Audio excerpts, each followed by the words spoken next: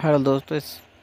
Video में आपको बताऊँगा, ये जो हमारा सैमसंग बी तीन सौ दस ई मॉडल है, इसमें सारी जो की की सप्लाई है, आप देख सकते हैं, ये इस तरीक़े से यहाँ पे कनेक्शन जुड़े हुए हैं तो आपको कलर मैच कर लेना है, आपको जो भी आपका सप्लाई में ब्रेक या शॉर्ट या मिसिंग हो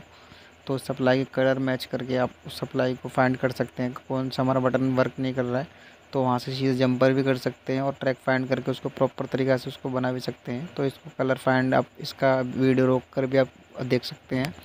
कि हमारी सप्लाई यहाँ से कोई ब्रेक या शॉर्ट तो नहीं है।